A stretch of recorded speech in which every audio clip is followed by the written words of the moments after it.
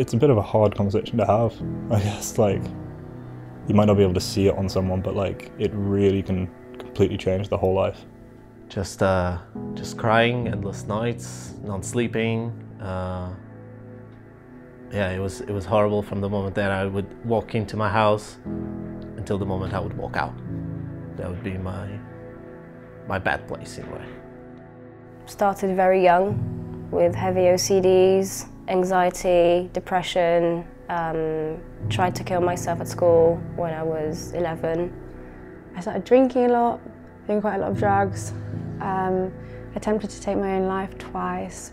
I've been taking the antidepressants for about two and a half years, but every time I do this thing, every time I feel like I'm getting better, uh, I'm like, oh, I don't need them anymore. Because I, I always see it as like being on antidepressants is a sign that you're still unwell. I started pulling my hair, so suffered from trichotillomania, which made me um, pull out my whole head. So basically what I'm wearing here is just a wig. Unless you've experienced it, it's really challenging to put yourself in that person's shoes and understand how they feel. You just try you just try to keep going. You just try to to survive in a way. You know, you, there's been just like a string of like student student suicides at Bristol. It's horrible. Like it just seems like every time you open the paper, there's another one. I had one friend who I came to university with, and we were in different halls, and we are on the same course. And I told him about my issues um, with wanting to to uh, to drop out and how how socially anxious I was, and he and he talked things through with me, and we went on this big walk. And then just I didn't hear from him again, and he'd taken his own life.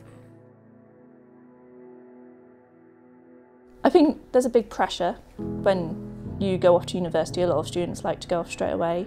Obviously, people want to get that experience of moving away from home and living on your own. In the beginning, it was quite difficult because I literally live, left everyone that I knew, family, friends. Just being in a new environment for me was quite stressful, um, not knowing anyone to begin with.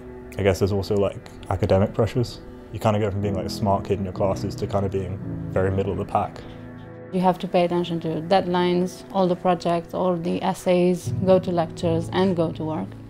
I feel like everyone is struggling with something, but we are all hiding it. Anxiety, depression, um, addictions, OCD, PTSD, everyone suffers from something. I think everyone's going to go through depression once in their life.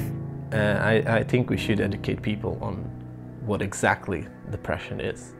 People just kind of think, oh, you're depressed, okay, you had a bad breakup or just a bad day. It's not as simple as that. And it's really challenging. It's really hard to get across like how debilitating it actually is, especially when you don't understand it yourself.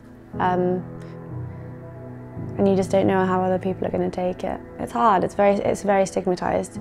We should all have compassion and not be afraid to share. Maybe instead of reaching out to some, you know, student health service, just try to reach out to a friend first. I read somewhere that like courage is contagious. Like once one person starts talking, it just encourages more people to talk, more people to open up about it. It is hard to, to speak up, but in the end it will be a big, big relief. Yeah, open, open up, don't be scared. It can save your life.